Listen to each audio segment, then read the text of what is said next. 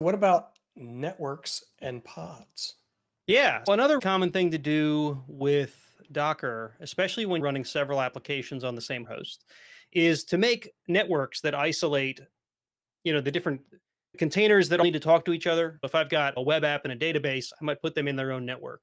If I've got another, I don't know, web app and a different database, or I don't know, I always use web app and database as the example here. There's tons of use cases where you have several containers that have to talk to each other. Maybe they're microservices that talk to each other over API calls, right? You might put them in the same network. I just wanted to make sure everyone knew that that is still a thing in Podman. You can absolutely do a Podman network. What does it create? My network. And then if I did that Podman network ls, it'll show me I now have a my network as well. And when I make a new container, I would just tell it what network to attach that container to, and it'll attach it to that network. And then they'll have local container only networking to work with. So that's really handy for uh, network isolation from within your containers. However, if you're going to go to Podman, I, I would be remiss to not mention that Podman has another method for letting you do that, which is also very similar to what you would do in the Kubernetes world or an OpenShift world with pods. I think they might be called applications or apps within OpenShift and Kubernetes.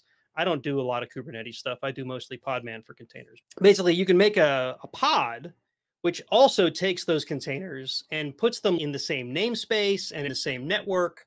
It's a much cleaner way to group your containers. So if I did a podman pod create dash dash name my pod, this will make a pod. If I create new containers and I say pod when I'm creating them, which is where this command line starts to diverge from Docker. Docker, I don't think has a pod command switch because they don't have pods. You can then put containers within that pod. And then if I do a podman pod PS, I can start and stop the entire pod at once. So I can say, this is my web application. It's got the database and the API stuff in it. If I stop that pod, it stops all the containers within it, shuts down the network that they're talking on.